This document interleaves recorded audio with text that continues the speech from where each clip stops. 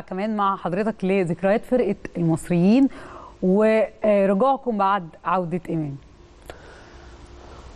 يا ريت كنتوا آه، قلتوا الإيمان تيجي يمكن هي يعني اليومين دول مشغولة في التدريس بتاعها وبتاع. أكيد هتكون معنا إن شاء الله في الفترة الجاية.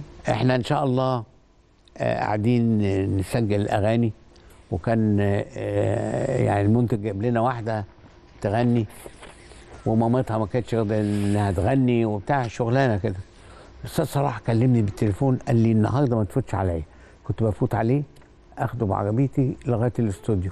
سواء الأغنية من كلماته أو لأ. كان بيحضر فرقة مصريين دي عنده كانت حاجة. قال لي إنها زي صباح الخير. وأنتوا صباح الخير طبعا.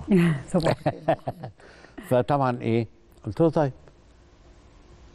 وإحنا قاعدين كده كده دخل الأستاذ صلاح جاهين ومعاه إيمان يونس. إيمان يونس كنت أعرفها في الكونسرفاتوار بس أنا كنت طبعا إيه سن كبير ودخلت بالستة وهي كانت لسه كتكوتة.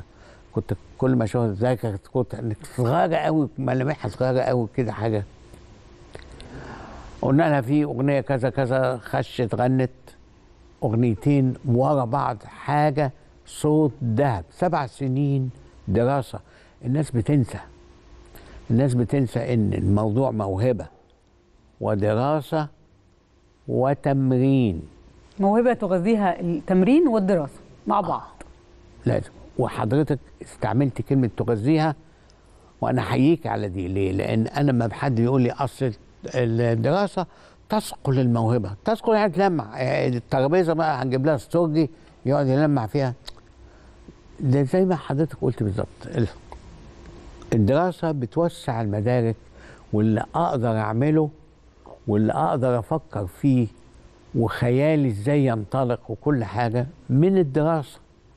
التمرين هو قدرتي على تنفيذ اللي في دماغي. ما لو في دماغي في موسيقى حلوة. في ناس كده عندهم موسيقى حلوة جدا وما بيقدروش ينفذوها.